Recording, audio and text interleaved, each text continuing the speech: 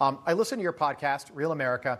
Uh, you spoke with the former Secretary of State Mike Pompeo just the other day, talking about the uh, House and Senate races in 2022. Take a listen, then we'll get some reaction.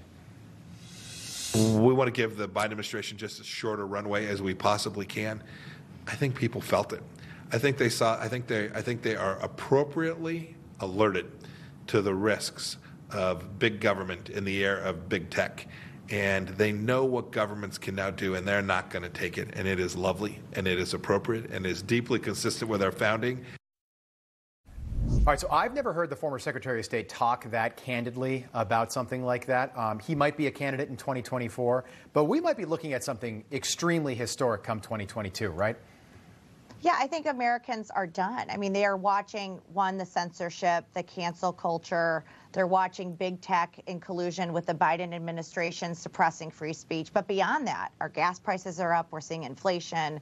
We are seeing our groceries costing more. We are seeing the disaster of our border not being secure, abandoning Israel.